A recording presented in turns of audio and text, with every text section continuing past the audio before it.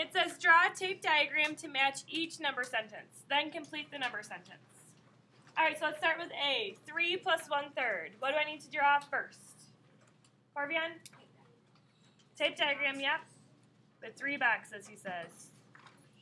I made mine kind of small, but that's all right. Okay, so I have my three represented. Do you agree? Yes. All right, so how do I know how to add that third on there? Maya?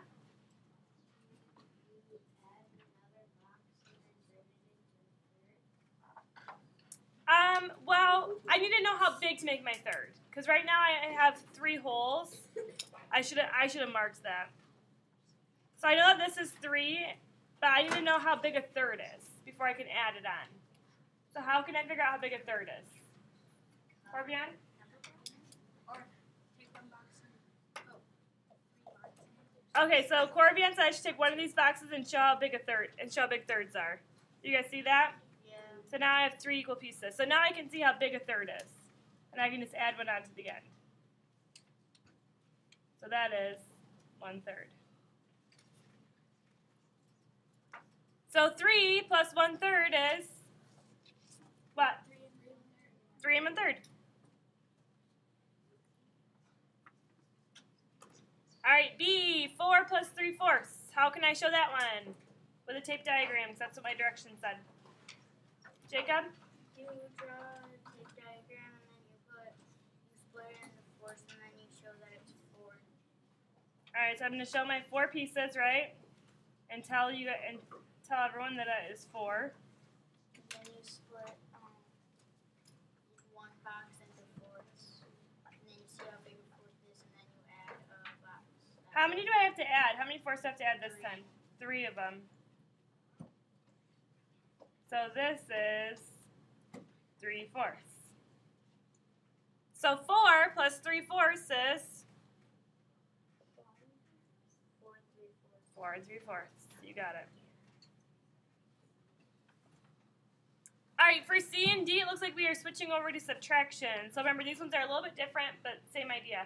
Hey, Austin, can you set that aside for me right now? So how do I start this one off, Brendan?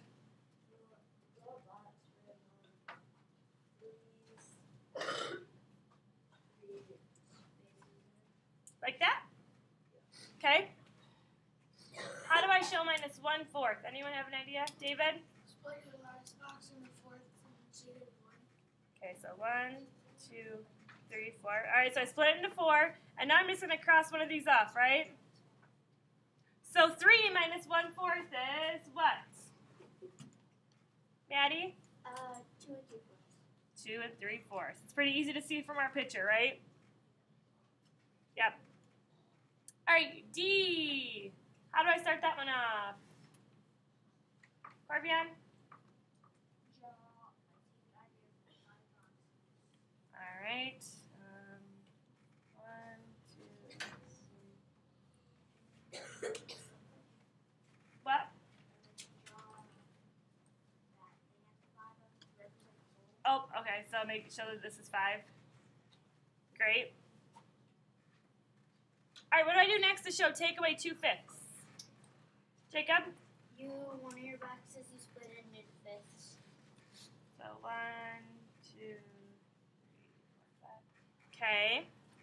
Then you take away two. And that leaves me with what left? I have four holes, right? Yeah, and three fifths. Great. All right, for number two, it says use the following three numbers to write two subtraction and two addition number sentences. All right, who can give me one for A? Subtraction or addition?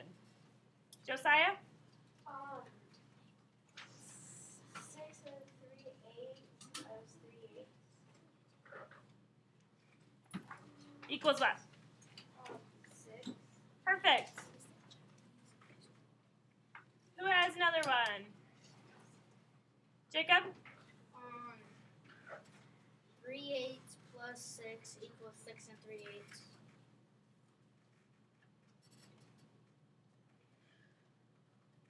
Who has another one? We have one subtraction, one addition. I need two of each. Think about everything you know about fact families. Noah, what do you know? Six plus three eighths equals sixty-three eighths. Yeah, just opposite, right? Great. Bye. Have a good day. Yeah, yeah. Abby, what's the last problem we have left?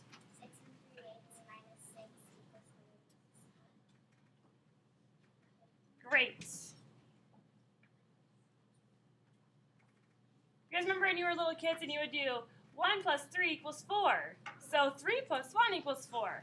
Same idea, just instead of having those numbers, we have fractions. Yeah. Same thing. All right, go ahead and try to do B by yourself. If you get stuck, I'm going to be doing it on the board as you go, okay? So try to think of the two addition and two subtractions. They give you all the information you need.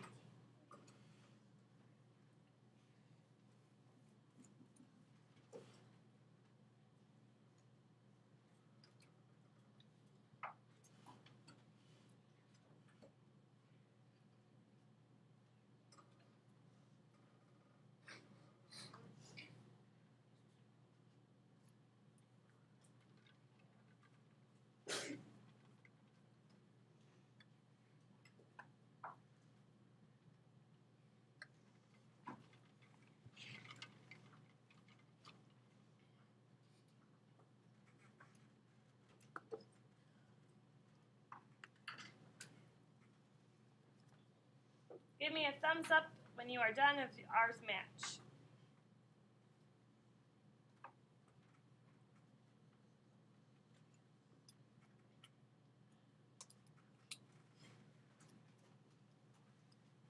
Awesome. I see lots of thumbs going up.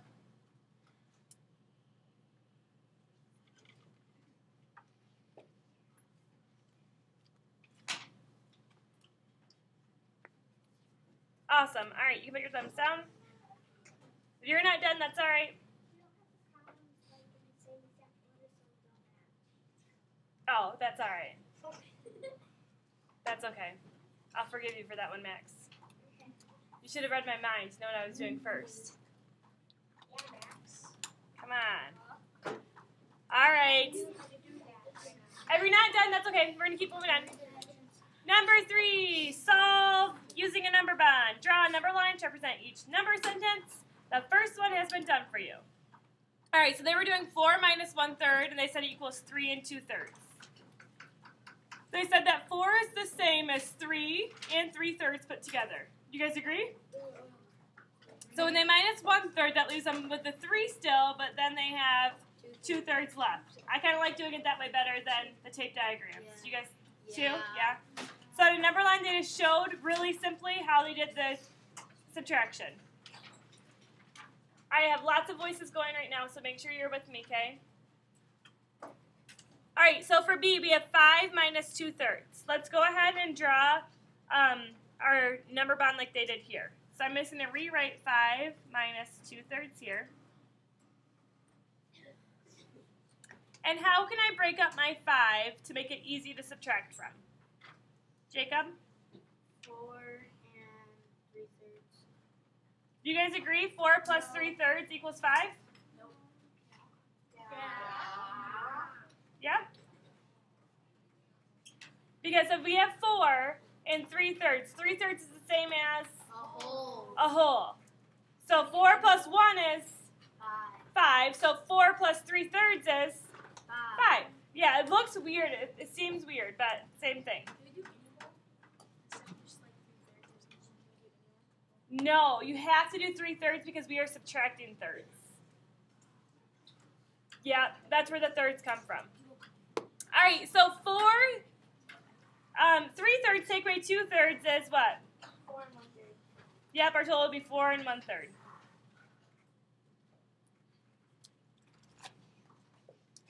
All right, let's quickly draw on a number line. So see where they started? They started at 3. So where should we start? Three. We should start at 4. Yeah. And then have it go to 5.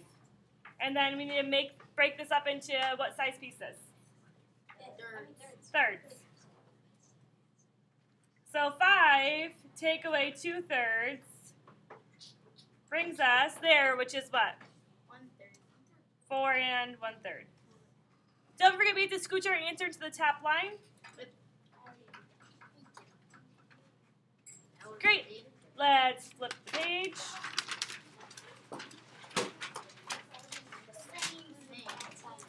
Um, those ones are the same thing, so I'm gonna I'm gonna skip um, skip those for right now. I'll have you do them later. Okay. Same idea. And when I have everyone back with me, we will keep moving on. All right, for number four, you to do is complete the subtraction sentences using number bonds. So just like what we were doing, but not having to do the number line. So, for example, for this one, how can I break this up into things that are easy to subtract from? Devin? Two and ten tenths. Yep, how do you know to use tenths? Because the subtract, the number you're subtracting is tenths. Yep. So 10 tenths take away 1 tenth is what? Nine 9 tenths. And then what number do I have to bring over for my whole? Two. Could we check it if we wanted to? Can we do 2 and 9 tenths plus 1 tenth? Yes. And what would that equal? Ten tenths. 2 and 10 tenths, which is the same as 3. Great. All right, let's do um, D. 7 minus 3 ninths. How can I split this up so it's easy to subtract from? Jacob? Six and nine ninths. 6 and 9 ninths. All right. 9 ninths take away 3 ninths is Six. 6 ninths. What, up, what do I have to bring up here? Six. 6. Ooh, let's do F. Look at that one. 29 minus 9 twelfths. How can I split that one up, Kaylee? 28 and 12 twelfths. All right, what do I do next? Addie, what do I do? Um, you do twelve twelves minus nine twelves. And what is that? That is um three twelves. All right, am I done? No. What do I have to bring over? Twenty-eight. How come I don't bring 29 over? Because because that's twelve twelve. Tyler, why don't I bring 29 over? Because you have to change twenty-nine into twenty-eight and twelve twelves to make it easier to subtract. Yep, so I, I have to bring my 28, not my 29. Great job. Okay, here's what I need you to do, okay? You have 15 minutes and the rest is homework. Here's your job. You have a lot. Let me start. You need to finish 21 homework. Finish 22 problem set.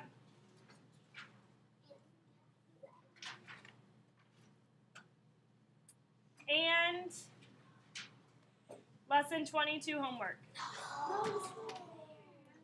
If you chose this morning when we when we did lesson 21 homework, if you chose to work hard, this should you should be able to finish this before class and just have lesson 22 for homework.